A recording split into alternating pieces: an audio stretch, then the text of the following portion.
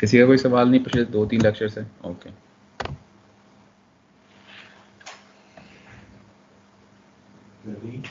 Okay आज का जो लेक्चर है वो है रिगार्डिंग हमारा कि लेयरिंग आर्किटेक्चर क्या होता है क्यों ज़रूरी है और लेयर्स क्या होती हैं नेटवर्क के अंदर। लास्ट लेक्चर में हमने काफ़ी कुछ डिस्कस कर लिया था बेसिक्स के ऊपर। आज जो है आ, हम लोग देखते हैं कि इतने ह्यूज नेटवर्क को कैसे हम लोग मैनेज कर सकते हैं, उसकी फंक्शनलिटीज़ को और उसके तमाम आर्किटेक्चर पॉइंट ऑफ़ व्यू तो चूँकि हम लोग काफ़ी कॉम्प्लेक्स सिस्टम के साथ डील कर रहे होंगे, कि जिसमें हमने देखा है कि उसमें पूरा इंटरनेट होगा, उसमें फिर हमारे पास हर जगह कोई ना कोई प्रोसेसिंग हो रही होती है। तो उसके लिए ऐसा सिस्टम है कि जिसमें आपके पास कॉम्प्लेक्सिटी लेवल जो है काफ़ी हाई है। फिर हमने ये भी देखा था कि हम लोग नेटवर्क को क्लासीफाई कर सकते हैं। कैटेगरीज के अंदर भी, जैसे लैन या वैन होता है।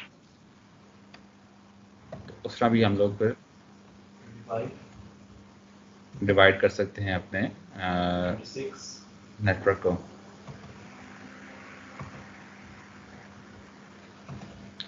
तो इस केस में हमारा जो नेटवर्क होगा वो काफ़ी ज़्यादा सोफेस्टिकेटेड होगा। और काफ़ी ज़्यादा कॉम्प्लेक्स होगा। तो हमें फिर ऐसा एक ऑर्गेनाइजेशन का मैकेनिज्म चाहिए जिसमें हम लोग जो नेटवर्क है उसको ऑर्गेनाइज काफ़ी आसानी से कर सकें और अगर कोई इशू आता है तो उसको हम लोग रिजॉल्व भी कर सकें। तो हमें इसका मतलब है कि कोई मॉडलर अप्रोच इस्तेमाल करनी चाहिए। अगर हम मॉडलर अप्रोच इस्तेमाल नहीं करेंगे तो ये हो सकता है कि सिंगल पॉइंट ऑफ़ फेलियर जिधर अगर एक जगह कोई लिंक फेल हो जाता है या कोई इशू आ जाता है तो उसका मतलब है कि फिर पूरा जो नेटवर्क है वो डाउन हो जाएगा। तो मॉडलाइजेशन हम लोग इस्तेमाल करेंगे ताकि हमारी जो मेंटेनेंस है या आपने कोई सिस्टम को अपडेट करना है तो वो आसानी से हो सके। तो इसका मतलब है कि मॉडलाइजेशन का मतलब नेटवर्क में ये है कि हम लोग डिवाइड कर देंगे जो फंक्शनलिटीज़ है नेटवर्क की, उसको लेयर्स के अंदर। तो लेयरिंग इस ज़रूरी है। हमारे पास दो तरह के लेयर मॉडल एग्जिस्ट करते हैं। पहला जो है वो O S I reference model है जिसके अंदर सेवन लेयर का मॉडल है। ये इंटरनेशनल तौर पर स्टैंडर्ड आर्किटेक्चर है। आ, इसको स्पेसिफाई किया गया था I S O seventy four ninety eight के अंदर और इस मॉडल के अंदर सेवन लेयर्स हैं। और सेवन लेयर्स कौन कौन सी हैं? वो यही सेवन लेयर्स हैं। अच्छा। हमने एक और बात की थी हाँ कोर्स के अंदर, कि नेटवर्क की अगर डिवाइसेस को क्लासिफाई करना चाहें तो हमारे पास नेटवर्क एज डिवाइसेस होती हैं और नेटवर्क कोर डिवाइसेस होती हैं। ऐसे ही है?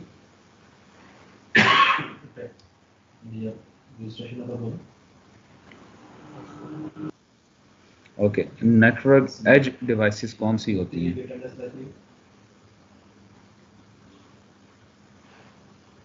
और किसी की अटेंडेंस रहती है। हाँ जी नेटवर्क एज डिवाइसेस कौन सी होती हैं?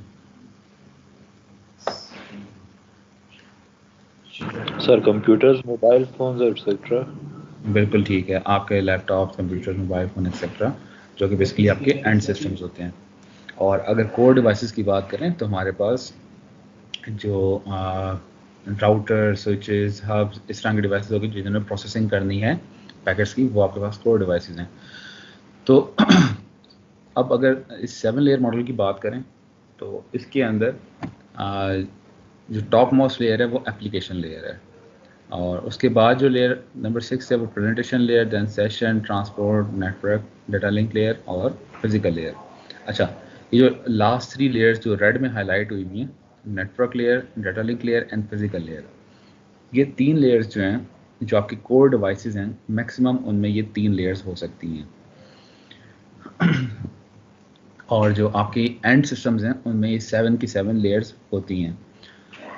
क्यों नेटवर्क कोर डिवाइस के अंदर ये तीन लेयर्स हो सकती हैं? इससे ज़्यादा क्यों नहीं हो सकती? रीज़न ये है कि नेटवर्क की डिवाइसेस या नेटवर्क कोर डिवाइसेस ने ज़्यादा से ज़्यादा आपके पास राउटिंग स्विचिंग यही परफॉर्म करना है। उन्होंने ट्रांसपोर्ट या डिलीवरी ऑफ़ डाटा के ऊपर बात नहीं करनी ना, उन्होंने डाटा ओरिजिनेट करना।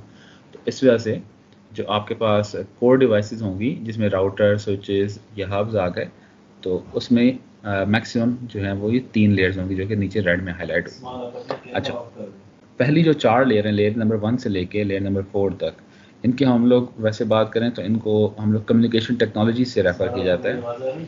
और ये डिपेंड करती हैं कि आपकी कौन सी कम्युनिकेशन टेक्नोलॉजी है, जबकि जो लास्ट थ्री लेयर्स हैं फाइव सिक्स सेवन वो आपके पास यूज़र एप्लीकेशन से रिलेटेड होती हैं। ये आपके पास सेवन लेयर मॉडल है OSI का। अगर हम लोग लेयर वाइज बात करें तो जो टॉप मोस्ट लेयर है एप्लीकेशन लेयर ये वो लेयर होती है जिस दर आपके पास यूज़र से डायरेक्टली डाटा आ रहा होता है या आपने यूज़र को डाटा डिस्प्ले करवाना होता है। तो इसका मतलब यह है कि यहाँ पे वो सर्विसेज़ रिप्रेंट की जाएँगी जो कि यूज़र के जो सॉफ्टवेयर हैं या जो सॉफ्टवेयर एप्लीकेशन हैं, जैसे फ़ाइल ट्रांसफ़र है ईमेल है या उसमें कोई डाटा एक्सेस करना है या कोई रिकॉर्ड व्यू करना है या उसने कोई वीडियो वगैरह वॉच करनी है या कोई इस ऑनलाइन कम्युनिकेशन करनी है तो उस, इन सर्विसेज़ को रिप्रेजेंट किया जाएगा एप्लीकेशन लेयर के ऊपर या उसकी सपोर्ट प्रोवाइड की जाएगी कि being a network architecture specialist के जिसमें हम लोग कोशिश ये करेंगे कि अगर यूज़र ने फ़ाइल ट्रांसफ़र करनी है तो कोई ऐसा प्रोटोकॉल या कोई ऐसा मैकेनिज़्म बनाया जाए जो कि उसके इस फ़ाइल ट्रांसफ़र के जो एप्लीकेशन है उसको सपोर्ट कर सके। क्योंकि अगर जब तक नेटवर्क लेयर पे कोई सपोर्ट मौजूद नहीं होगी या नेटवर्क पे कोई सपोर्ट मौजूद नहीं होगी कि वो फ़ाइल ट्रांसफ़र की सर्विस अवेल कर सकता है तो तब तक आप उसको नेटवर्क में वो सर्विस प्रोवाइड नहीं करेंगे। तो नेटवर्क जो एप्लीकेशन लेयर है, उसका काम ये होगा कि जो भी यूज़र ने सॉफ्टवेयर यूज़ करने उनकी सपोर्ट उसको प्रोवाइड करना। अच्छा एप्लीकेशन लेयर की अगर बात करें तो एप्लीकेशन लेयर में क्या होगा कि जो यूज़र है, उससे अगर कोई डाटा या कोई प्रोग्राम आ रहा है तो देन उसको रिप्रेजेंट किया जाएगा। आपके पास ये प्रोटोकॉल्स होते हैं जिनसे हम लोग डाटा को रिप्रेजेंट करते हैं। और फिर एप्लीकेशन लेयर जो है अपना एक हेडर लगाएगी और फिर वो अपने नीचे वाली लेयर प्रेजेंटेशन लेयर को भेज देगी। और अगर आपके पास प्रेजेंटेशन लेयर से डाटा आ रहा है या कुछ भी इंफॉर्मेशन आ रही है तो उसको वो डाटा के अंदर कन्वर्ट करेगी जो कि एप्लीकेशन लेयर का एक्सेप्टेबल फॉर्मेट है। देन उसके जो प्रोटोकॉल्स होंगे, ये X four hundred X five hundred F F T M ये कन्वर्ट करेंगे उसको ह्यूमन अंडरस्टैंडेबल लैंग्वेज के अंदर। और देन फिर वो ह्यूमन उसको व्यू कर सकेगा। अच्छा फिर आती है इससे नीचे वाली जो लेयर है वो प्रेजेंटेशन लेयर प्रेजेंटेशन लेयर जैसे इसका नाम आपको पता है कि प्रेजेंटेशन है तो इसका काम ये होगा कि यूज़र को अगर यूज़र को डाटा डिस्प्ले करवाना है, जैसे इस केस के अंदर कि मतलब एप्लीकेशन लेयर को डाटा भेजना है तो किसी ऐसे फॉर्मेट के अंदर डाटा भेजा जाए ये जब एप्लीकेशन लेयर पे डाटा आपने भेजना है प्रेजेंटेशन लेयर से, या कोई भी इंफॉर्मेशन भेजनी है तो इस तरह के फॉर्मेट के अंदर हो, जो कि प्रेजेंटेबल फॉर्मेट हो, और स्टैंडर्ड फॉर्मेट हो, जिसमें वो डाटा प्रेजेंट किया जा सके। और, या अगर नीचे वाले लेयर्स को भेजना है एप्लीकेशन लेयर से कोई डाटा एक्सेप्ट करना है, और देन पास ऑन करना है सेशन लेयर को तो वो सेशन लेयर की एक्सेप्टेबल फॉर्मेट के मुताबिक हो। अच्छा यहाँ पे अगर सर्विसेज़ की बात करें तो यहाँ पे डाटा इंक्रिप्शन कंप्रेशन ये चीज़ें की जाती है। एप्लीकेशन लेयर से अगर डाटा आ रहा होगा प्रेजेंटेशन लेयर के ऊपर तो वो इस फॉर्मेट में आएगा देन उस पर जो प्रेजेंटेशन लेयर है वो अपना हेडर लगा देगी। ये एच सिक्स जो है बेसिकली सिक्स जो है वो लेयर नंबर है। एच सेवन जो है वो एप्लीकेशन लेयर का नंबर है तो इस वजह से हेडर सिक्स का मतलब एच सिक्स का मतलब है header of six six layer जो सिक्स लेयर जो हमारी प्रेजेंटेशन लेयर है। अच्छा अगर हमारे पास सेशन लेयर से डाटा आ रहा होगा प्रेजेंटेशन लेयर के ऊपर तो उसमें से अपना वो हेडर रिमूव करके एप्लीकेशन लेयर को देगी। अच्छा नीचे आती है फिफ्थ लेयर फिफ्थ लेयर का काम या सेशन लेयर का काम ये होता है कि दो कंप्यूटर के दरमियान में सेशन को इस्टेब्लिश करना कनेक्ट करना डिसकनेक्ट करना सेशन क्रिएट करना रिमोट लॉगिन का सेशन है फ़ाइल ट्रांसफ़र का सेशन है, किस तरह का सेशन है, उसको डिस्क्राइब करना। देन सेशन डिस्क्राइब हो गया देन उसको सिंक्रोनाइज करना और उसकी मैनेजमेंट करना सेशन की, वो आपके पास सेशन लेयर का काम आता है।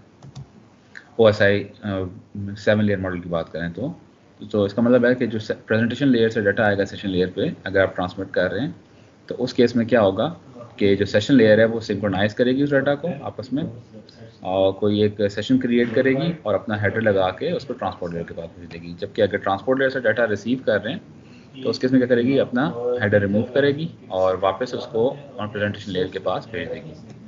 अच्छा फोर्थ लेयर जो है हमारे पास वो ट्रांसपोर्ट लेयर है। अभी तक का कोई सवाल है तो पूछ लें आप लोग। अभी कोई सवाल है तो पूछ लें कोई चीज़ समझ नहीं आ रही तो पूछ लें अभी।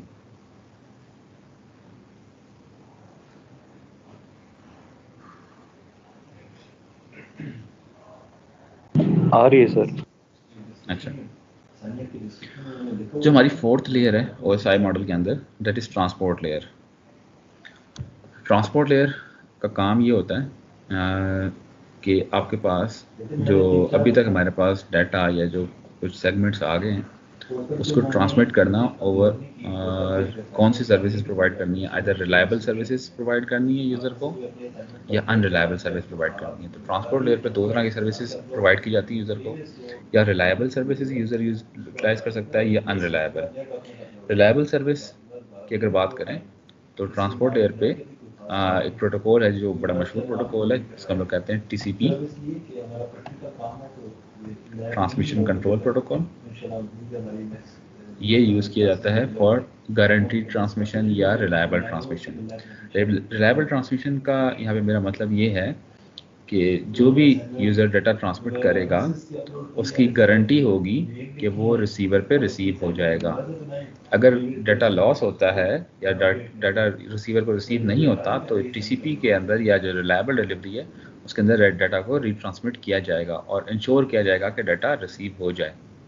और जब तक डाटा रिसीव नहीं हो जाता तब तक उसको रिट्रांसमिट करेंगे। थर्ड वन ये कि रिलायबल रिलायबिलिटी इस भी है कि जो भी रिसीवर रिसीव करेगा पैकेट उसकी एक्नॉलेजमेंट सेंडर को भेजेगा कि मुझे आपका ये वाला पैकेट या ये वाली सेगमेंट जो है वो रिसीव हो गई है।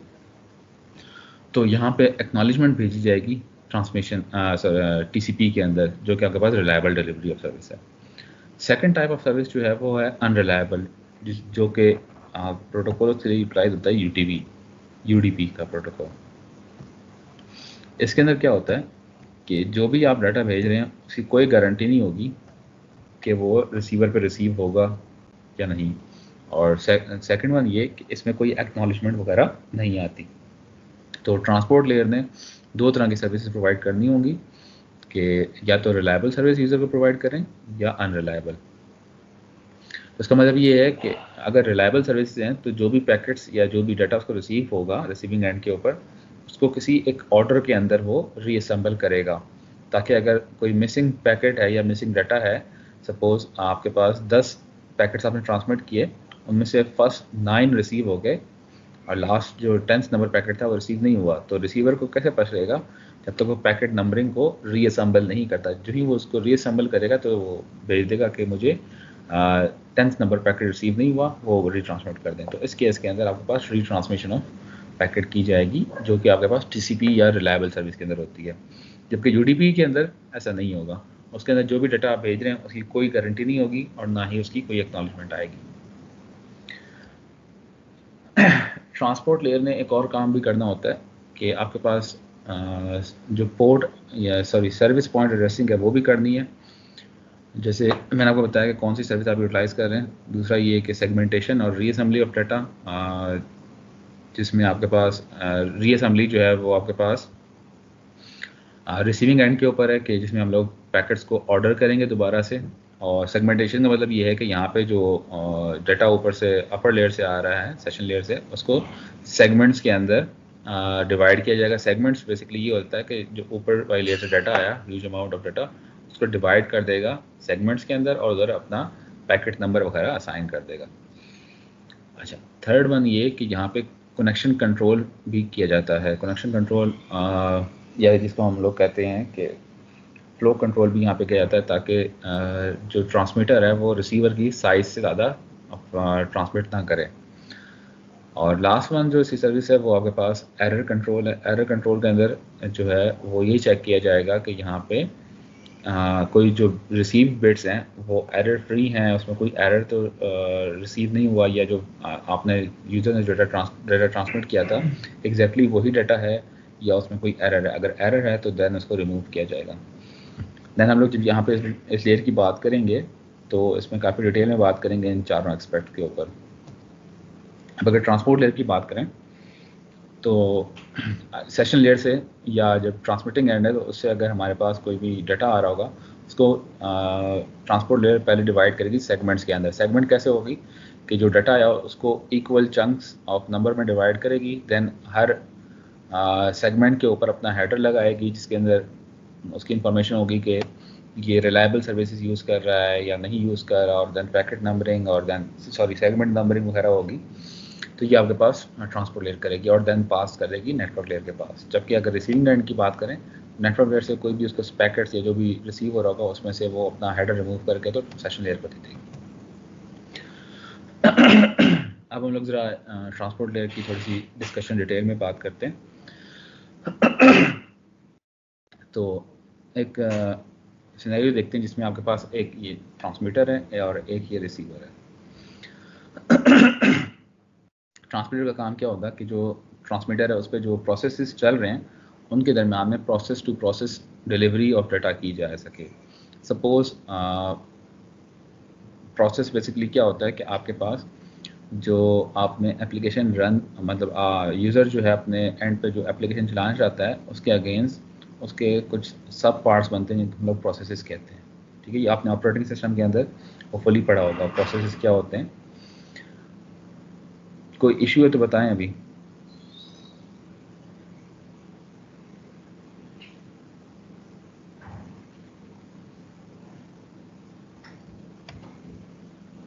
सर ऑपरेटिंग सिस्टम अभी कंटिन्यू नहीं किया तो अच्छा, ये अच्छा। थोड़ा क्लियर कर अच्छा सपोज़ आप ट्रांसमिटिंग एंड पे हैं या आप यूज़र एंड पे हैं तो आप क्या करते हैं? आप क्रोम को ओपन करते हैं। क्रोम बेसिकली आपकी एक एप्लीकेशन है, या वेब ब्राउज़र है। क्या होता है कि आपके ऑपरेटिंग सिस्टम के अंदर उसके अगेंस्ट कुछ टास्क कह लें, या जो ऐसे सीक्वेंस ऑफ़ स्टेप्स होते हैं, वो उसमें रन करने होते हैं, ताकि आपकी जो एप्लीकेशन जो वेब ब्राउज़र की एप्लीकेशन है, वो रन हो सके। तो उन सीक्वेंस ऑफ़ टास्क को, या उन जो lines of line of executable code को हम लोग जो है वो प्रोसेस कहते हैं। या ऐसे कह लें कि जो आपकी एप्लीकेशन है, उसको हम लोग डिवाइड कर देते हैं कुछ स्मॉलर पोर्शंस के अंदर, जिसको हम लोग प्रोसेस कहते हैं। और हर प्रोसेस की आईडी होती है। अब नेटवर्क लेयर ने सॉरी नेट नेटवर्क ने क्या करना होगा? कि जो प्रोसेस है सपोज़ ये क्रोम है और क्रोम के आपके तीन प्रोसेस बने और हर प्रोसेस की कोई प्रोसेस आईडी होगी। सपोज़ ये पी वन है, ये पी टू है, ये पी थ्री है। ये एक एप्लीकेशन के तीन प्रोसेस बने हैं, ठीक है? और कैसे बनते हैं प्रोसेस कि सपोज़ आपके पास क्रोम की एप्लीकेशन है जैसे अभी मैं आपको दिखा देता हूँ कि हमारी माइक्रोसॉफ्ट टीम की एप्लीकेशन रन हो रही है तो आप टास्क मैनेजर में जाके आप देख सकते हैं कि इसके अगेंस्ट कौन कौन से प्रोसेस रन हो रहे हैं। ये देखें इसके अगर इसके अगेंस्ट ये एक एप्लीकेशन है। ये मैंने टास्क मैनेजर खोल लिया नज़र आ रहा है आप सबको? यस सर और इसमें yes. देखें ये माइक्रोसॉफ्ट टीम की माइक्रोसॉफ्ट टीम की एक एप्लीकेशन चल रही है ठीक है? और ये अभी इस वक्त हाईलाइटेड है। इसके अगेंस्ट मैं देखना कौन कौन से बैकग्राउंड में प्रोसेस चल रहे हैं तो मैं इसको मज़ीद ओपन करूँगा और ये देखें कि एक एप्लीकेशन के अगेंस्ट मज़ीद चार प्रोसेस चल रहे हैं, ठीक है? और ये प्रोसेस क्या होंगे देन इसकी डिटेल आप मज़ीद खोल कर देख सकते हैं, ठीक है? तो ये एक एप्लीकेशन को रन करने के लिए आपके पास छोटे छोटे डिवीज़न कर दी जाती है, जिसको हम लोग प्रोसेस कहते हैं। अच्छा ट्रांसपोर्ट लेयर का काम क्या होगा कि इन प्रोसेसेस को आपस में कम्युनिकेट करना है, क्योंकि इन प्रोसेस के पास कुछ अमाउंट ऑफ़ डाटा होगा जो कि यूज़र ने ट्रांसमिट करना होगा। तो ट्रांसपोर्ट लेयर का काम ये होता है कि end to sorry process to process delivery of data process to process कैसे डिलीवर करेगा? सपोज़ ये प्रोसेस पी टू है, जिसने डिलीवर करना है इस यूज़र के प्रोसेस पी टू को। और ये दोनों जो हैं वो सेम एप्लीकेशन यूज़ कर रहे हैं। सपोज़ ये फ़ाइल ट्रांसफ़र या ईमेल ट्रांसफ़र कर रहे हैं तो उस केस में क्या होगा कि इसकी जो वेब ब्राउज़र यहाँ पे जो चल रहा है, उसमें जो भी एप्लीकेशन है, उसके प्रोसेस बनेंगे देन इसी तरह इसके भी यहाँ पे प्रोसेस बनेंगे, और देन हम लोग ये चाहते हैं कि जो प्रोसेस पी टू है यूज़र ए का, वो यूज़र बी के प्रोसेस पी टू को डिलीवर करेगा डाटा वो कैसे डिलीवर होगा, वो ट्रांसपोर्ट लेयर डिलीवर करके देती है, ठीक है? तो ये जो process to process data delivery अब आपके पास ट्रांसपोर्ट लेयर पर की जाती है। इससे नीचे जो है वो हमारे पास नेटवर्क लेयर है। नेटवर्क लेयर का काम ये होता है। आ, इसके दो की फंक्शनलिटीज़ हैं। पहला जो की फंक्शनलिटी है वो ये है कि राउटिंग परफॉर्म करना सोर्स से लेके डेस्टिनेशन तक आ, कोई बेस्ट पाथ या ऑप्टिमल पाथ चूज़ करना उसको आ, फिर जो पैकेट्स या जो डाटा है उनको उन पाथ के ऊपर गाइड करते हुए या फॉरवर्ड करते हुए रिसीवर तक या डेस्टिनेशन तक पहुंचाना। तो forwarding of packets and routing of packets ये आपके पास नेटवर्क लेयर का काम होता है। नेटवर्क लेयर पे हमारे पास फिर कुछ एड्रेसेस भी होते हैं जिनको हम लोग आईपी एड्रेसेस कहते हैं, वो भी असाइन की जाते हैं और जो राउटिंग होगी या जो बेस्ट पास सिलेक्शन होगी, वो आपके पास नेटवर्क लेयर के ऊपर की जाती है। और अगर इसकी लेयर की डिवाइस की बात करें तो इधर हमारे पास जो थ्री लेयर डिवाइस है वो आपके पास राउटर होता है। देन राउटिंग जो है वो काफ़ी चीज़ों के ऊपर डिपेंड करती है वो इंशाल्लाह जब इस लेयर की डिटेल देखेंगे तब हम लोग बात करेंगे। तो नेटवर्क लेयर के अंदर आपके पास लॉजिकल एड्रेसिंग होगी और राउटिंग और फॉरवर्डिंग ऑफ़ पैकेट्स होगी। नेटवर्क लेयर की बात करें तो जो हमारे पास ट्रांसपोर्ट लेयर से डाटा आएगा, उसको नेटवर्क लेयर पैकेट्स के अंदर डिवाइड करेगी और हर पैकेट का नंबर होगा और हर पैकेट के नंबर के साथ अपना हेडर वो ऐड करेगी और फिर लिंक लेयर के पास भेजेगी और इस तरह आप देख सकते हैं। अच्छा नेटवर्क लेयर ने किस तरह करना है काम? जो जो नेटवर्क लेयर पे आपने आईपी एड्रेसेस वगैरह अपेंड कर दिए तो उनकी बेस के ऊपर एक पाथ सिलेक्ट किया जाएगा जैसे आप यहाँ पे देख सकते हैं कि हमारे पास ये एंड सिस्टम ए है और ये एंड सिस्टम एफ़ है। तो इनके दरमियान में जो ये पाथ है ये वाला जो पिंक में हाईलाइटेड है ये आप देख सकते हैं कि ये आ, कोई बेस्ट पास सिलेक्ट हुआ है। वैसे तो और भी पास अवेलेबल होंगे मगर ये बेस्ट पास होगा ये आपके पास राउटिंग प्रोटोकॉल यहाँ पे उसको इस्टेब्लिश करके देगा। और वो कैसे इस्टेब्लिश करेगा उसके राउटिंग एल्गोरिदम होगा। देन इस पर जो पैकेट्स फॉरवर्ड होंगे हर जो राउटर है क्योंकि बीच में जो भी डिवाइस आ रही है उधर मैक्सिमम थ्री लेयर्स हैं तो वो अपने रिसी uh, अपने जो राउटिंग टेबल होगा उससे कंपेयर करके फिर पैकेट को आगे फॉरवर्ड करता जाएगा और फिर एट दी एंड एफ़ पे रिसीव हो जाएगा। तो ये आपके पास नेटवर्क लेयर ने source to destination data delivery करनी होती है। अच्छा इससे नीचे वाली जो लेयर है ओएसआई के अंदर वो लिंक लेयर है या डेटा जिसको हम लोग डेटा लिंक लेयर कहते हैं। इसका काम ये होता है कि रिलायबल ट्रांसमिशन ऑफ़ फ्रेम्स करना है। अब जो हमारे पास पैकेट्स बन गए उनकी फ्रे, आ, फ्रेम जो उनके बनाएगा वो आपके पास डेटा लिंक लेयर बनाएगा। और यहाँ पे वो फ्रेम कैसे बनाता है कि जो फ़िज़िकल एड्रेसेस होते हैं आ, वो आपके पास अपेंड किए जाते हैं लिंक लेयर के अंदर। फ़िज़िकल एड्रेस जो होता है वो क्या होता है? जिसको हम लोग मैक एड्रेस कहते हैं वो क्या चीज़ होती है?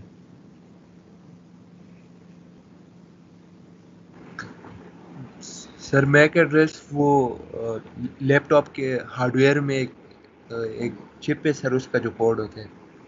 ठीक हो गया काफ़ी हद तक बेहतर बात है कि आपके पास जो फ़िज़िकल एड्रेस ऑफ़ डिवाइस होता है जो कि यूजली आपके इंटरफेस कार्ड या जो एडॉप्टर कार्ड होता है जिसको हम लोग नेटवर्क इंटरफेस कार्ड कहते हैं उसके अंदर आपके पास बर्न होता है और वो मैन्युफैक्चरर आपके पास बर्न करता है। तो वो आपका मैक एड्रेस होता है और ये फ़िज़िकल एड्रेस होता है इसको चेंज करना किया जा सकता है मगर इतना आसान नहीं होता।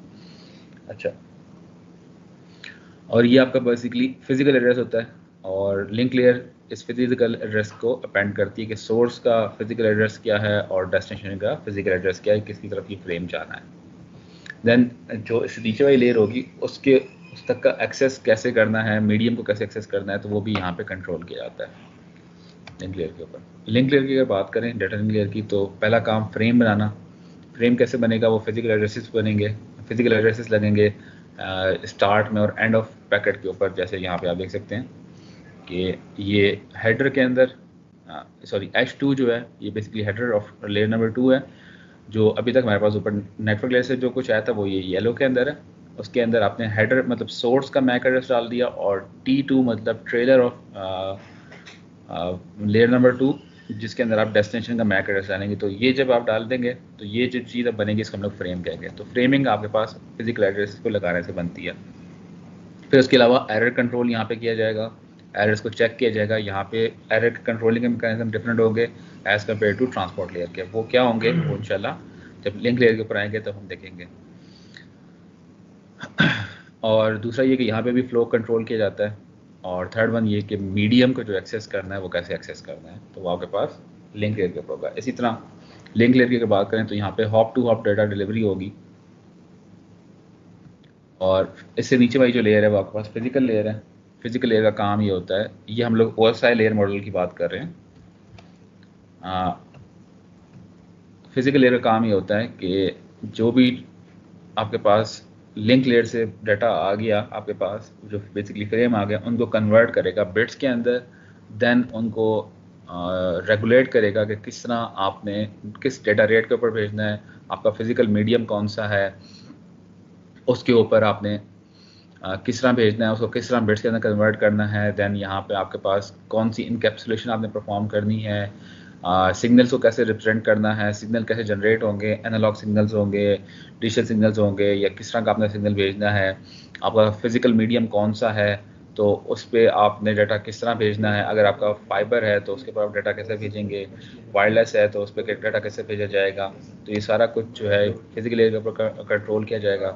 देन ये भी कंट्रोल किया जाएगा जो आपका ट्रांसमिशन मैकेनिज़्म है वो आपके पास सिंप्लेक्स है या डुप्लेक्स है या फुल डुप्लेक्स है। सिंप्लेक्स ये होता है कि जैसे आप टीवी ब्रॉडकास्टिंग देखते हैं, जिसमें जो सुनने वाले लोग होते हैं, जो लिसनर्स होते हैं, वो फीडबैक नहीं दे सकते।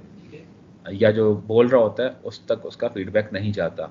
तो वो सिंप्लेक्स कम्युनिकेशन होती है वन वे कम्युनिकेशन जैसे हाफ़ डुप्लेक्स जो है, वो दोनों बात कर सकते हैं अगर वन एट अ टाइम जैसे वॉकी टॉकी है या फुल डुप्लेक्स जैसे अभी हम लोग जो बात करें इसमें आप लोग भी बात कर सकते हैं, मैं भी बात कर सकता हूँ, दोनों हम लोग एक दोनों, एक एक ही टाइम पे बात भी कर सकते हैं। तो इस तरह की कम्युनिकेशन को कंट्रोल करना जो है वो फ़िज़िकल लेयर का काम होता है। या कनेक्शन टाइप बताना कि किस तरह का आपका कनेक्शन होगा। तो वो आपके पास फ़िज़िकल लेयर करती है। अच्छा। जो भी आपके पास लिंक लेयर डाटा लिंक से जो डाटा आया, उसको कन्वर्ट करेगी बिट्स के अंदर देन उसको ट्रांसमिशन मीडिया के ऊपर भेजेगी तो आपके पास फ़िज़िकल लेयर का काम होगा। अच्छा। अब भी तक की जो डिस्कशन है, हमारी लेयर्स की O S I seven layer model की, इसके ऊपर हम लोग देखें। तो इसमें हमारे पास एप्लीकेशन लेयर है। एप्लीकेशन लेयर ने क्या करना होता है कि आपके पास यूज़र से डाटा रिसीव करना है और यूज़र को डाटा प्रिंट करके भेजना है ऊपर। इस तरह प्रेजेंटेशन लेयर और बाकी सारी आप लेयर दे सकते हैं। तो जो आपकी एंड डिवाइसेस होंगी, उसके अंदर सेवन की सेवन लेयर्स होंगी, जबकि जो कोर डिवाइसेस हैं, उसमें मैक्सिमम थ्री लेयर्स हो सकती हैं। तो हमने अभी तक की जो डिस्कशन की है, उसमें अगर बात करें जो पहली जो लेयर नंबर वन से लेकर लेयर नंबर थ्री तक हैं, ये आपके पास कोड नेटवर्क की लेयर्स हो सकती हैं। एंड सिस्टम में भी ये तीन लेयर्स हो सकती हैं। अच्छा। जो आपके पास एप्लीकेशन लेयर होती है, उसमें आपके पास एप्लीकेशन को सपोर्ट दी जाती है। प्रेजेंटेशन लेयर में हमने देखा कि प्रेजेंट कैसे करना है डाटा सेशन लेयर में सेशन क्रिएट किया जाएगा।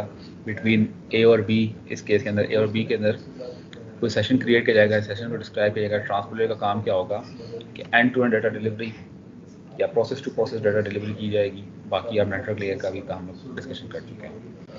तो ट्रांसमिटिंग एंड के ऊपर क्या फ़ंक्शन परफॉर्म होंगे और रिसीविंग एंड के ऊपर क्या होंगे? तो अगर आप ट्रांसमिट कर रहे हैं डाटा तो सबसे पहले क्या होगा कि यूज़र कोई डाटा ओरिजिनेट करेगा। तो जो सबसे टॉप मोस्ट लेयर है एप्लीकेशन लेयर वो अपना हेडर लगाएगी उसके अंदर। देन उसके बाद पास कर देगी। सिक्स लेयर के पास वो भी अपना हेडर लगाएगी। फिफ्थ लेयर भी अपना हेडर लगाएगी। देन जो सेगमेंटेशन की जाएगी, या जो सेगमेंट्स बनाए जाएँगे, या जो अभी तक जो डाटा आया था, उसको जो डिवाइड किया जाएगा, पहली दफ़ा वो आपके पास ट्रांसपोर्ट लेयर के ऊपर डिवाइड किया जाएगा, जिसमें हम लोग नंबरिंग असाइन करेंगे, और वो अपना हेडर लगा देगी। देन नेटवर्क लेयर पे आएगा तो ये जो अभी तक का डाटा था, इसको मजीद हम लोग डिवाइड कर देंगे पैकेट्स के अंदर। और हर पैकेट का नंबर होगा, इस तरह ट्रांसपोर्ट लेयर पे सॉरी इससे नीचे जो है वो डेटा लिंक लेयर पे आएगी। तो यहाँ पे हम लोग MAC address of source MAC address of destination लगा के फ्रेम बना देंगे और फिर जब आपके पास फ़िज़िकल लेयर पे आएगी तो फ़िज़िकल लेयर क्या करेगी कि उसको बिट्स के अंदर कन्वर्ट करके तो ट्रांसमिशन मीडिया के ऊपर भेज देगी। जबकि रिसीविंग की बात करें तो रिसीवर ने क्या करना है, जो फ़िज़िकल लेयर पे आपके पास डेटा रिसीव होगा, उसको पहले चेक करेगी कि इसमें एरर तो नहीं है, अगर एरर है तो उसको डिस्कार्ड कर देगी।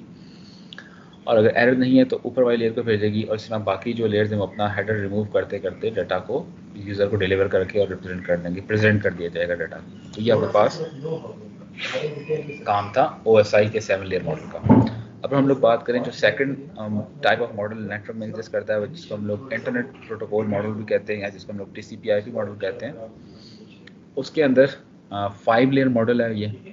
इसके अंदर क्या किया गया कि जो OSI की पहली टॉप थ्री लेयर्स थी एप्लीकेशन प्रेजेंटेशन सेशन इनको कंबाइन करके सिर्फ़ एक एप्लीकेशन लेयर बना दी गई है और इन तीनों की जो फंक्शनलिटी हैं वो इस एप्लीकेशन लेयर के अंदर बाकी ट्रांसपोर्ट लेयर को टीसीपी लेयर कहते हैं नेटवर्क लेयर को हम लोग डिवाइड कर दिया है आईपी के अंदर और नेटवर्क इंटरफेस के अंदर और लिंक लेयर को हम लोग जब सिंपली नेटवर्क इंटरफेस कहते हैं और आपके पास जो फ़िज़िकल लेयर इसको हम लोग हार्डवेयर लेयर कहते हैं। तो इसके अंदर ये फाइव लेयर मॉडल का इस तरह का एग्जिस्ट करता है जिसके अंदर हम लोगों ने बेसिकली कंबाइन कर दिया पहली तीन लेयर्स को। तो ओ एस आई लेयर के अंदर हमने देखा था कि हमने हर एंटिटी के अगेंस्ट कुछ ना कुछ लेयर्स की डिस्कशन कर ली थी। देन हर लेयर पे हमने देखा है कि हर लेयर कुछ कनेक्शन ओरिएंटेड और कनेक्शन लेस सर्विसेज़ ऑफ़र करती हैं, जैसे कनेक्शन ओरिएंटेड सर्विस जैसे आपके पास टेलीफोन सिस्टम है, या कनेक्शन लेस सर्विस जो है वो आपके पास पोस्टल सिस्टम है, जिसमें आपको कोई पता नहीं होता कब तक आपका जो पार्सल है कब तक डिलीवर होगा। देन हर सर्विस की कोई ना कोई एसोसिएटेड क्वालिटी ऑफ़ सर्विस होगा कि आपने रिलायबल सर्विस देनी है अनरिलायबल देनी है, किस तरह की सर्विस देनी है। रिलायबिलिटी का यहाँ पे हमारा मतलब ये है कि रिलायबल सर्विसेज़ वो होंगी जिसमें, जिसके अंदर डाटा ना लूज होगा ना करप्ट होगा, ना आपका कभी डाटा लॉस होगा, ना करप्ट होगा। अगर डाटा लॉस हो गया तो भी आप रिट्रांसमिट करेंगे और अगर आपका डाटा करप्ट हो गया तब भी यूज़र रिट्रांसमिट करेगा अनटेनलेस जब तक उसको करेक्ट फॉर्म के अंदर रिसीव ना हो जाए। No doubt reliable service cost ज़्यादा है, मगर यहाँ पे रिलायबिलिटी या गारंटी ऑफ़ सर्विसेज़ होता है। अच्छा। इसमें यूजली फ़ाइल ट्रांसफ़र की सर्विस होती हैं, या आपके पास मैसेजिंग की सर्विस होती है, या और भी ऐसी सर्विसेज़ आती हैं जिस तरह हमें कनेक्शन की रिक्वायरमेंट होती है। मगर ऐसा नहीं है कि तमाम सर्विसेज़ को ही हम गारंटी के या नेटवर्क में जितनी भी एप्लीकेशन हैं, वो सारी गारंटेड एप्लीकेशन गारंटेड सर्विस का यूज़ करती हैं। कुछ जो है वो अनरिलायबल सर्विस को भी यूज़ करती हैं। तो ये आज के लेक्चर का पहला पार्ट था। अभी टाइम हमारे पास अगर है तो हम सेकंड पार्ट को यस टाइम है तो हम लोग सेकंड पार्ट को स्टार्ट कर हैं पहले पार्ट से कोई सवाल है तो पूछ लें।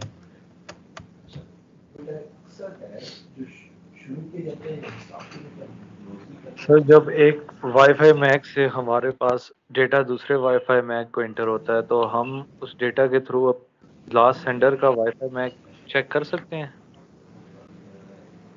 वाईफाई मैक लास्ट सेंडर का कर सकते हैं आप चेक पैकेट स्निफ करके तो हम लोग चेक कर सकते हैं।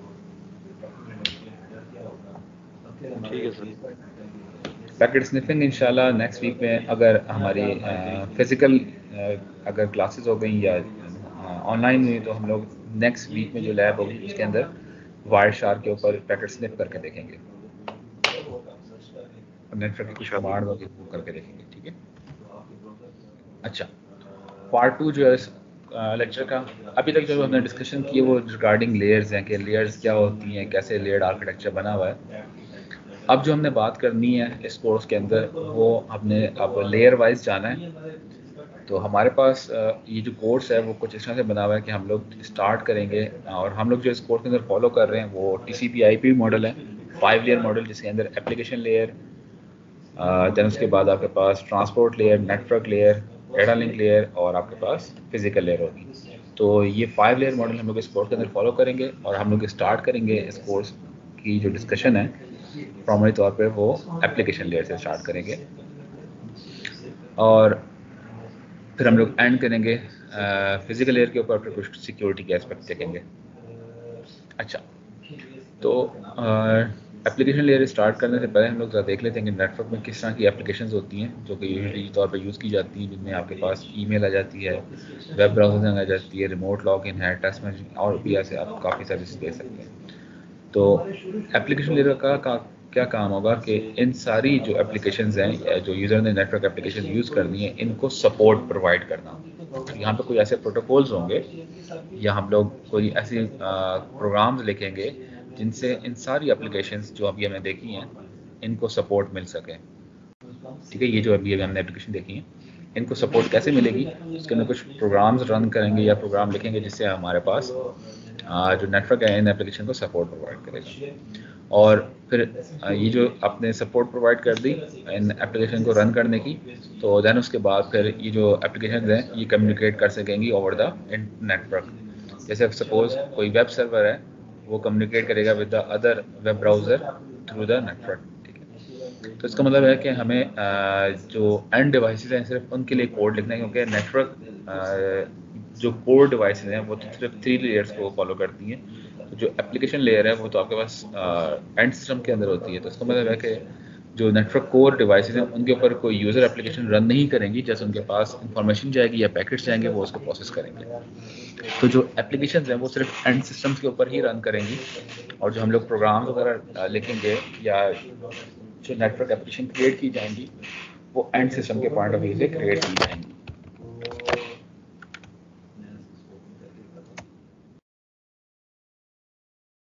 कैसे होगा? तो देख सकते हैं थोड़ी सी एनिमेशन है।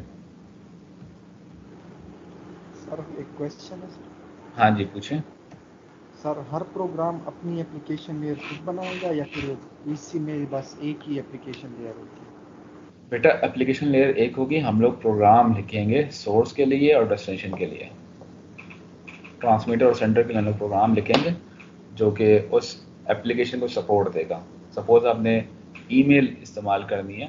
तो ईमेल के सर्वर और क्लाइंट के लिए हम लोग कोई प्रोग्राम लिखेंगे कि सर्वर अगर रन हो रहा है तो उसके ऊपर ये वाला प्रोग्राम रन हो और अगर क्लाइंट है तो उसके ऊपर ये वाला प्रोग्राम रन होगा देन वो आपस में ईमेल ट्रांसफ़र कर सकेंगे।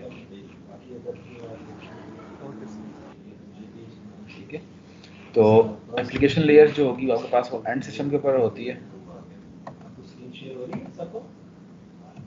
तो यहाँ पे आप देख सकते हो हर एंड सिस्टम की कोई एप्लीकेशन लेयर है, जो भी रेड में हाईलाइट हुई है। तो ये हमारा काम यहाँ पे क्या होगा कि end to end data deliver करना या एंड सिस्टम के दरमियान डाटा डिलीवर करना। तो वो कैसे किया जाएगा हम लोग यहाँ पे कुछ प्रोग्राम्स वगैरह लिखेंगे।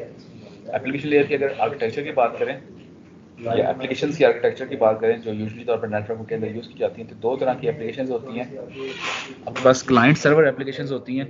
या पीयर टू पीयर एप्लीकेशंस होती हैं। जो नेटवर्क के अंदर यूज़ होती हैं एप्लीकेशंस अगर क्लाइंट सर्वर कोई आर्किटेक्चर को फॉलो करती है एप्लीकेशन तो उसके उसके अंदर क्या होता है कि आपके पास एक क्लाइंट होता है जो कि रिक्वेस्ट करता है सर्विसेज़ का, और एक आपके पास सर्वर होता है जो कि आपके पास उन सर्विसेज़ को सर्व करता है। तो जो क्लाइंट होगा, वो हमेशा रिक्वेस्ट करेगा। जैसे ये जो हैं एंड सिस्टम्स जो हैं, ये आपके पास क्लाइंट्स हैं और ये आपके पास सर्वर है। तो जो क्लाइंट होंगे, ये रिक्वेस्ट करेंगे सर्वर को कि हमें ये सर्विसेज़ चाहिए और हमने आपके साथ कम्युनिकेट करना है। तो जो क्लाइंट्स होंगे, वो कम्युनिकेट कर देंगे सर्वर के साथ देन जो सर्वर है उनको रिस्पॉन्स देगा और उनको सर्विसेज़ प्रोवाइड करेगा। ठीक है? अच्छा क्लाइंट का जो आई पी एड्रेस होता है, वो हमेशा डायनामिक होता है, क्योंकि वो अपनी लोकेशन चेंज करता रहता है, जबकि जो सर्वर है, उसका आई पी एड्रेस स्टैटिक होता है। और सर्वर जो हैं, अगर सर्वर्स की बात करें तो आजकल जो है वो यहाँ पे सर्वर्स की जगह डाटा सेंटर्स यूज़ होते हैं तो वो भी आप इसकी एग्जांपल ले सकते हैं। मगर जो क्लाइंट सर्वर आर्किटेक्चर है, इसके अंदर ये होता ही है कि जो क्लाइंट होगा वो हमेशा रिक्वेस्ट करेगा सर्विस का देन सर्वर जो है उसकी रिक्वेस्ट को एक्सेप्ट करके या रिजेक्ट करके अपना रिस्पॉन्स भेजता है। और दूसरी तरह की जो एप्लीकेशन होती हैं, वो आपके पास पीयर टू पीयर आर्किटेक्चर को फॉलो करती हैं, उसमें हमारे पास सर्वर नहीं होता हमेशा। और जो पीयर्स होते हैं या जो क्लाइंट्स यहाँ पे सिर्फ़ क्लाइंट्स ही होते हैं, उनको हम लोग पीयर्स कहते हैं। जो पीयर्स होते हैं, वो आपस में डायरेक्टली कम्युनिकेट करते हैं। और इस तरह के जो आर्किटेक्चर हैं, वो हम लोग देखेंगे वो किस तरह की सर्विसेज़ यूज़ करते हैं। यूजली जो बिट टोरेंट है या जो टोरेंट है टोरेंट की जो सर्विसेज़ हैं, वो आपके पास पीयर टू पीयर आर्किटेक्चर को फॉलो करती हैं और ये स्केलेबल होती हैं। इसमें आप नए यूज़र्स या नए पीयर्स जो हैं, वो नई सर्विसेज़ को लेके आ सकते हैं। अच्छा चूँकि हमने एप्लीकेशन लेयर की बात करनी है तो यहाँ पे बेसिकली जो एप्लीकेशन होती है, जो भी यूज़र एंड पे रन हो रही होगी तो उसके अगेंस्ट कुछ ना कुछ प्रोसेसेस क्रिएट हो जाते हैं। तो अगर हम लोग प्रोसेस की बात करें तो प्रोसेस जो होता है, वो बेसिकली आपके पास एक प्रोग्राम होता है, जो होस्ट के ऊपर रन हो रहा होता है। अगर हम बात करें एक होस्ट की तो एक होस्ट के ऊपर मल्टीपल प्रोसेसेस रन हो रहे होते हैं, ऐसे ही है ना?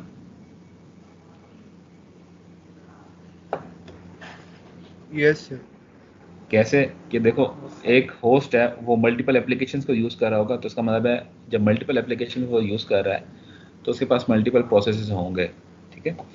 तो अगर आपके पास एक होस्ट के ऊपर ही दो प्रोसेस को आपने कम्युनिकेट करवाना है तो इस तरह की जो कम्युनिकेशन होगी, जो विद इन द होस्ट होगी दो प्रोसेस नाम है, वो इंटर प्रोसेस कम्युनिकेशन कहलाती है। और अगर आपने ऐसी कम्युनिकेशन करनी है जो कि आपके पास दो डिफरेंट होस्ट के ऊपर दो प्रोसेस को आपने कम्युनिकेट करवाना है। तो इस तरह जो कम्युनिकेशन होगी, वो आपके पास इंट्रा प्रोसेस कम्युनिकेशन कहलाएगी। अच्छा और जो प्रोसेस होते हैं, उनकी कोई डिफरेंट वो प्रोसेस आईडी होती है। तो अगर हम लोग क्लाइंट सर्वर के हवाले से बात करें तो कुछ हमारे पास क्लाइंट प्रोसेस होंगे और कुछ हमारे पास सर्वर प्रोसेस होंगे। तो जो क्लाइंट प्रोसेस होंगे, वो आपके पास इनिशिएट करेंगे कम्युनिकेशन को, या स्टार्ट करेंगे कम्युनिकेशन को। और सर्वर प्रोसेस वो होंगे, जो कि वेट कर रहे होंगे कि हमें कांटेक्ट किया जाए किन की तरफ़ से? क्लाइंट प्रोसेस की तरफ़ से।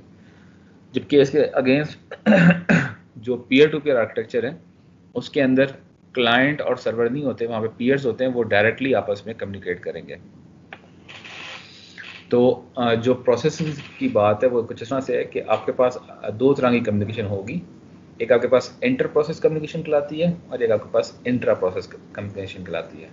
इंटर प्रोसेस वो होती है जो कि विद इन द होस्ट होती है, जबकि इंट्रा प्रोसेस कम्युनिकेशन वो होती है जो बिटवीन द टू होस्ट होगी। देन हमारे पास इन प्रोसेस को चूँकि एप्लीकेशन लेयर के ऊपर रन हो रहे होते हैं, हमने सपोर्ट प्रोवाइड करनी नीचे ट्रांसपोर्ट लेयर के लिए, ताकि ट्रांसपोर्ट लेयर से डाटा रिसीव किया जा सके, या उसको डाटा सेंड किया जा सके, जो भी प्रोसेस से डाटा आ रहा है। तो हमने जो एप्लीकेशन लेयर है, इस पर कुछ हमने प्रोग्राम वगैरह रन करेंगे, कुछ प्रोग्राम क्रिएट करेंगे तो वो जो है बेसिकली प्रोसेस को कंट्रोल करेगा। अच्छा देन चूँकि इन प्रोसेस ने कम्युनिकेट करना है आपस में एक दूसरे से जैसे आप देख सकते हो कि ये एंड सिस्टम ए है और ये एंड सिस्टम बी है। तो इन दोनों के जो प्रोसेस हैं इन दोनों आपस में अगर कम्युनिकेट करना होगा तो उसके लिए नीचे वाली लेयर की सपोर्ट ज़रूरी है। तो प्रोसेस कैसे आपस में नीचे वाली लेयर से कम्युनिकेट करेंगे या ट्रांसपोर्ट लेयर से कैसे कम्युनिकेट करेंगे तो उसके लिए हमारे पास आ, एक ओपनिंग कह लो या एक गेटवे होता है जिसको हम लोग सॉकेट कहते हैं। सॉकेट क्या करता है? कि इस प्रोसेस जो एप्लीकेशन लेयर के ऊपर रन हो रहा है उससे डाटा रिसीव करके नीचे ट्रांसपोर्ट लेयर को पास ऑन करता है। या ये ऐसी चीज़ है जैसे एक कोई दरवाज़ा होता है, जिसको आप ओपन करके तो आप किसी रूम में एंटर हो जाते हो। तो इसी तरह, अगर प्रोसेस ने ट्रांसपोर्ट लेयर के ऊपर जाना होगा, अपना डाटा भेजना होगा तो वो एक सॉकेट के थ्रू ट्रांसपोर्ट लेयर के ऊपर जाएगा। अच्छा तो जो सॉकेट है वो बेसिकली आपके पास एक तरह का डोर है between the application layer and the transport layer और जो प्रोसेस होंगे, ये जो प्रोसेस है, ये जो सेंडिंग प्रोसेस होगा, या जो रिसीविंग प्रोसेस होगा, वो इस सॉकेट से ही मैसेजेस सेंड करेगा या रिसीव करेगा, ठीक है? और अगर इन प्रोसेस की एड्रेसिंग की बात करें तो हमारे पास प्रोसेस को या इन एप्लीकेशन लेयर पे जो प्रोसेस रन हो रहे हैं, इनको अगर हमने आइडेंटिफाई करना है कि कौन सा हमारे पास प्रोसेस है, क्योंकि एक होस्ट के ऊपर मल्टीपल प्रोसेस रन हो रहे थे तो ऐसा तो नहीं हो सकता कि सपोज़ आप ने क्रोम भी ओपन किया हुआ है माइक्रोसॉफ्ट टीम भी ओपन किया हुआ है तो उसमें क्या होगा कि उनके अगेंस्ट इन दो एप्लीकेशन के अगेंस्ट मल्टीपल प्रोसेस रन हो रहे होंगे। तो अगर तो हमें ये ना पता हो कि कौन सा प्रोसेस नंबर है तो किसी दूसरे प्रोसेस को हम लोग डिलीवर कर सकते हैं डेटा तो। इस केस के अंदर, या अगर हमें एप्लीकेशन नंबर का भी नहीं पता हो कि मतलब एप्लीकेशन कौन सी है और उसकी नंबरिंग क्या है तो जब तक हमें नंबर नहीं पता होंगे एप्लीकेशन के नंबरिंग तो तब तक हम लोग डेटा डिलीवर सही तरह से नहीं कर सकेंगे। तो इन एप्लीकेशन के नंबरिंग के लिए, क्योंकि प्रोसेस के तो नंबर ऑपरेटिंग सिस्टम के अंदर होते हैं तो हमें एप्लीकेशन के नंबर करना है, क्योंकि हर यूज़र जो है, उसके पास मल्टीपल एप्लीकेशन रन होती हैं।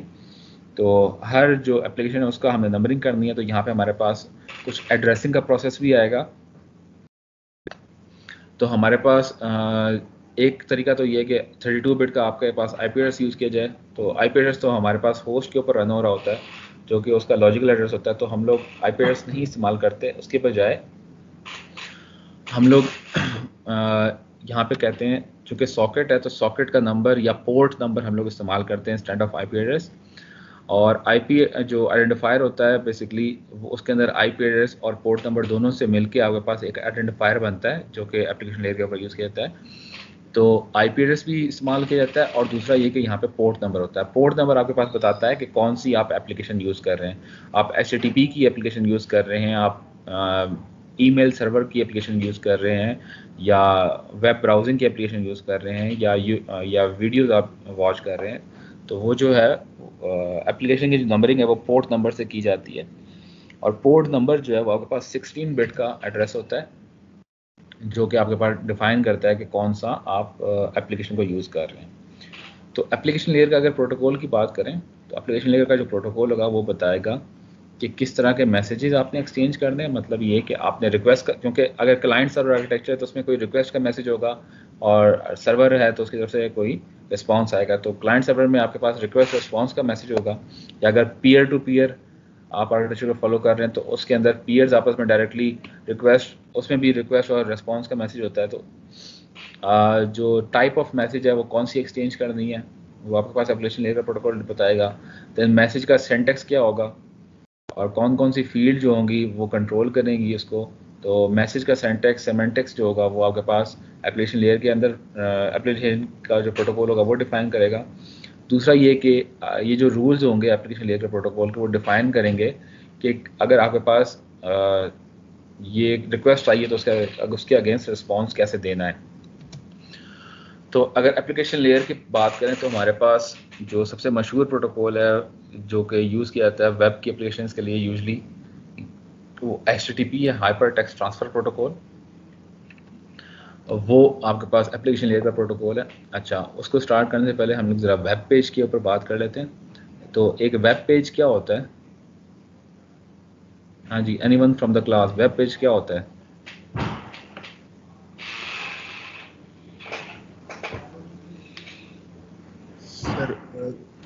Related collection of pages related collection of pages और अगर इसको और थोड़ा सा सिंप्लीफाई करो।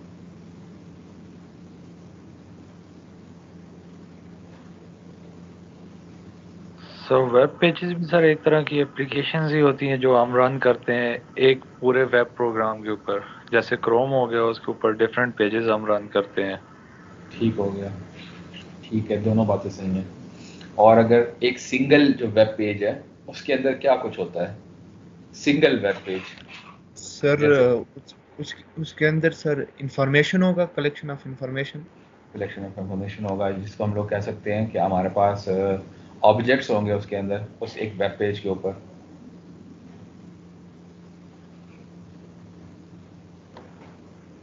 यस सर और ऑब्जेक्ट की अगर बात करें तो ऑब्जेक्ट के अंदर क्या हो सकता है?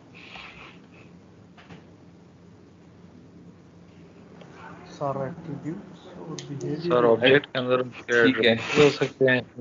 ठीक है। एट्रीब्यूट्स होंगे। और वो एट्रीब्यूट्स की अगर बात करें तो हमारे पास कोई टेक्स्ट हो सकता है एट्रीब्यूट कोई इमेज हो सकता है कोई जावा एप्लीकेशन हो सकती है या कोई जेपैक फ़ाइल हो सकती है कुछ भी आपके पास वो हो सकता है ठीक है? तो उनसे मिलके हमारा एक वेब पेज बनता है। और फिर ऐसे सारे वेब पेजेस को मिला के हमारे पास एक वेबसाइट बनती है। ठीक हो गया? तो अगर किसी यूज़र ने इस वेबसाइट को या उन वेब पेजेस को एक्सेस करना है तो उसके लिए नेटवर्क के अंदर सपोर्ट प्रोवाइड की जाती है, वो आपके पास एच का प्रोटोकॉल के थ्रू सपोर्ट प्रोवाइड की जाती है। अच्छा जो वेब पेज होगा, उसके अंदर ऑब्जेक्ट्स होंगे। ऑब्जेक्ट के अंदर H file JPEG Java applet audio file बहुत सी चीज़ें होती हैं, ठीक है? वेबसाइट या वेब पेज की अगर बात करें तो वेब पेज के अंदर हमारे पास एक बेस एचटीएमएल फ़ाइल होती है और देन उसके अगेंस्ट कुछ रेफरेंस ऑब्जेक्ट्स होते हैं। बेस एचटीएमएल फ़ाइल की अगर बात करें, एक मिनट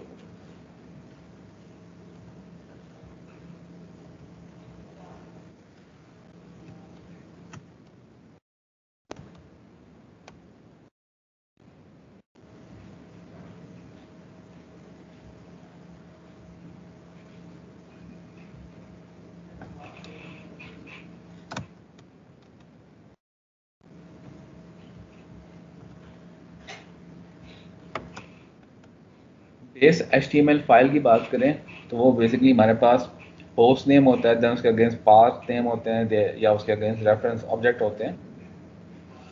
तो जो हर एक ऑब्जेक्ट होगा, उसको हम लोग यूआरएल से एड्रेस कर सकते हैं। जैसे कि आपके पास ये एक होस्ट नेम है W W dot some school dot E D U या आपके पास होस्ट नेम है, या base H T M L है।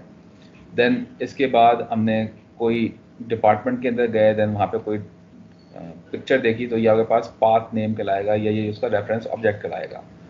तो ये जो ऑब्जेक्ट है सपोज़ ये पिक डॉट गिफ है, इसको आपने अगर एड्रेस करना होगा तो उसका एक एड्रेसेबल यूआरएल होगा, ठीक है? तो ये जो यूआरएल है पूरा, ये आपके पास इस रेफरेंस ऑब्जेक्ट का, इस पिक डॉट गिफ का ये एड्रेसेबल यूआरएल कहलाएगा, ठीक है? और जो बेस एच या बेस होस्ट नेम जो होगा वो ये है आपका। और जो पाथ है पूरा वो ये ये वाला चीज़ है पाथ है। एच का काम क्या होता है? एच जो है, वो इन वेब पेजेस या इन वेब सर्विस को सपोर्ट प्रोवाइड करता है। एच की बात करें तो ये आपके पास एप्लीकेशन लेयर का प्रोटोकॉल है जो कि वेब सर्विस को प्रोवाइड करता है एक्सेस इसके अंदर जो है एच के अंदर वो क्लाइंट सर्वर मॉडल फॉलो किया जाता है, जिसमें आपके पास एक क्लाइंट होते हैं मल्टीपल क्लाइंट्स हो सकते हैं और सर्वर एक होगा या मल्टीपल सर्वर भी हो सकते हैं यहाँ पे ठीक है? हम लोग यहाँ पे फ़िलहाल एग्जांपल में जो ज्यूम करेंगे वो एक सर्वर होगा और मल्टीपल क्लाइंट्स हैं। तो ये जो क्लाइंट्स होंगे वो रिक्वेस्ट करेंगे सर्वर को कि हमें ये वाला वेब पेज एक्सेस करने दिया जाए। देन सर्वर जो है वो उनकी रिक्वेस्ट के अगेंस्ट रिस्पॉन्स भेजेगा और देन उनको फिर अपना जो मतलूबा वेब पेज है वो भेज सकता है ठीक है? तो जो क्लाइंट होगा वो बेसिकली अपने ब्राउज़र के थ्रू रिक्वेस्ट करेगा आ, और उस मतलूबा वेब पेज की देन उसको रिसीव करेगा। और डिस्प्ले भी जो है वो उस वेब ब्राउज़र के थ्रू उसको वो जो वेब ऑब्जेक्ट्स हैं वो डिस्प्ले किए जाएँगे।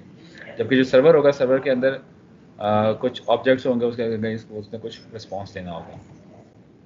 इस तरह का आपके पास होता है। एच के अंदर पहले रिक्वेस्ट की जाती है देन उसका अगेंस्ट रिस्पॉन्स होता है। ठीक है इसी तरह इसका भी एच की रिक्वेस्ट जाएगी उसके अगेंस्ट सर्वर जो उसको रिस्पॉन्स भेजेगा। अच्छा एच जो है ये आपके पास अगर ट्रांसपोर्टर की बात करें तो ये आपके पास टीसीपी को यूटिलाइज करते हुए क्लाइंट जो है होता है, वो इनिशिएट करता है कनेक्शन को, ठीक है? मतलब रिक्वेस्ट जो करेगा क्लाइंट एच की, वो टीसीपी के थ्रू करता है। और जो सर्वर करेगा एक्सेप्ट करेगा जो कनेक्शन टीसीपी के, वो सॉरी एच के जो कनेक्शन एक्सेप्ट करेगा, वो भी टीसीपी के थ्रू करेगा। टीसीपी क्यों यूटिलाइज कर रहे हैं? वो इस वजह यूटिलाइज कर रहे हैं क्योंकि ये जो सर्विस है, वो हमारे पास रिलायबल सर्विसेज़ के अंदर आती है। और यहाँ पे जो डाटा है वो यूज़र चाहता है कि वो उसको बेशक देर में मिल जाए मगर उसको डाटा गारंटी हो। अच्छा एच की अगर बात करें तो एच के अंदर जो क्लाइंट और सर्वर होगा उसके दरम्यान में जो भी मैसेज एक्सचेंज किए जाएँगे आ, उन मैसेजेस का कोई फॉर्मेट होगा। अच्छा इनिशियल तौर पर क्या होगा क्या स्टेप्स होंगे? पहले क्लाइंट रिक्वेस्ट करेगा टीसीपी की कनेक्शन के थ्रू देन सर्वर होगा उसको एक्सेप्ट करेगा जो ही वो एक्सेप्ट कर लेगा कनेक्शन की रिक्वेस्ट उसके बाद फिर जो है वो मैसेजेस आपस में ट्रांसफ़र होंगे। जो ही मैसेज ट्रांसफ़र कंप्लीट हो जाएगा देन उसके बाद फिर जो है वो कनेक्शन को क्लोज कर दिया जाएगा। अच्छा तो ये आपके पास कुछ स्टेप्स होते हैं डाटा ट्रांसफ़र करने के लिए एच के। अच्छा एच जो है, ये आपके पास स्टेटलेस प्रोटोकॉल है। स्टेटलेस इस वजह से क्योंकि जो एच का सर्वर होता है, वो अपने पास क्लाइंट की पास रिक्वेस्ट का कोई डाटा मेंटेन नहीं करता। No no doubt H T stateful भी हो सकता है मगर इनिशियल तौर पे जो एच टी बनाया गया था वो आपके पास स्टेटलेस था जिसमें जो सर्वर है वो क्लाइंट की रिक्वेस्ट का डाटा अपने पास नहीं रखता था। पास डाटा अगर वो सिर्फ़ ये रिकॉर्ड कीपिंग करने लग जाए तो उसके पास आ, अपना जो मेमोरी है वो फुल हो जाएगी। क्योंकि उसके पास हज़ारों क्लाइंट्स होते हैं आ, सर्वर के पास और उनकी करोड़ों रिक्वेस्ट आ रही होती है तो उनका ही अगर वो डाटा अपने पास रखने लग जाएगा तो उसकी मेमोरी फुल हो जाएगी। इस वजह से जो एच है वो स्टेटलेस प्रोटोकॉल है।